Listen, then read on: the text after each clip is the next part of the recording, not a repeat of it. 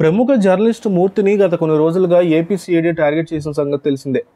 యూనివర్సిటీలలో జరిగినటువంటి నియామకాల్లో ఎవరి సిఫారసుతో పదవి వచ్చిందో చెప్తూ టీవీ ఫైవ్లో కొన్ని ఫైల్స్ చూపించారు. అయితే ఆ ఫైల్స్ బయటికి ఎలా వచ్చాయో కనుక్కోవాలంటూ ప్రభుత్వం కేసు పెట్టడంతో సిబిఐ రంగంలో దిగింది. సిఐడి రంగంలో దిగింది. ఆ షోలో పాల్గొన్నటువంటి మాజీ జడ్జి శ్రవణ్ ఏ వన్గా మూర్తి ఏ టూగా టీవీ ఫైవ్ చైర్మన్ ఏ త్రీగా చేర్చింది. అయితే ఈ సందర్భంలో మూర్తికి బెయిల్ రావడం ఇవన్నీ జరిగిపోయాయి. అయితే సిఐడి విచారణకు పిలవడంతో రీసెంట్గా మూర్తి విజయవాడ వచ్చారు. ఈ సందర్భంగా ఆయన జరిగిన పరిణామాల మీద వీడియో రిలీజ్ చేశారు. గత కొన్ని రోజులుగా తాను సరిగ్గా షోకి రావట్లేదని దీనికి కారణం ఏప్రిల్ ఆరున జరిగినటువంటి ఒక షో విషయంలో తమపై సిఐడి కేసు పెట్టారని ప్రెస్ ఫ్రీడమ్ ఉంది. తమ షోలో శ్రవణ్ వచ్చి కొన్ని ఫైల్స్ చూపించి చెప్పారు.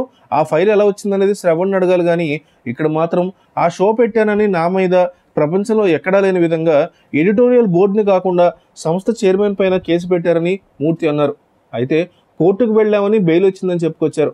అయితే కోర్టు చెప్పినట్టు సిఐడి ఆఫీస్కి నెల పన్నెండు వెళ్ళామని బాండ్ పేపర్స్ ఆధారాలు షూరిటీ ఇచ్చి వాళ్ళు అడిగిన స్టేట్మెంట్ ఇచ్చి వచ్చామని చెప్పారు.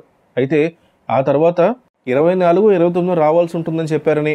అయితే మొన్న పదహారు రాత్రి హైదరాబాద్ వచ్చి పదిహేడవ తేదీన మీరు రావాలని చెప్పడంతో మళ్ళీ వచ్చానని నిన్న ఉదయం పదకొండు గంటలకు వెళ్తే రాత్రి తొమ్మిది గంటల ముప్పై నిమిషాలకు పిలిచి నా దగ్గర ఒక అరగంట స్టేట్మెంట్ తీసుకుని పంపించారని మానసికంగా వేధించేలాగా ప్రవర్తిస్తున్నారని మాటిమాటికి పిలిచి పది గంటలు కూర్చోబెట్టి వేధిస్తున్నారని ఆయన ఆరోపించారు. మళ్ళీ పంతొమ్మిదో తారీఖు రావాలని చెప్తున్నట్టుగా చెప్పారు. ఇలా మాటిమాటికి రమ్మని ఏదో ఒక రోజు మాకు రావడం కుదరలేదని చెప్తే బెయిల్ రద్దు చేసి అరెస్టు చేసే కుట్ర చేస్తారేమోనని అన్నారు. మేము ఏ తప్పు చేయలేదని ఆయన చెప్పుకొచ్చారు. గత పాతికేళ్ళుగా జర్నలిస్ట్గా ఉన్నానని ఏ తప్పు చేయలేదని ఫ్రీడమ్ ఆఫ్ ప్రెస్కి గొంతు నొక్కే ప్రయత్నం చేస్తున్నారని ఆయన ఆరోపించారు. నన్ను మానసికంగా వేధిస్తున్నారని ఇలా వేధించి గొంతు నొక్కాలనుకుంటే ఇలా వేధిస్తే అరెస్ట్ చేస్తే ఆగదని నా ఊపిరి ఉన్నంత వరకు నా గొంతు వినిపిస్తూనే ఉంటానని ఆయన అన్నారు.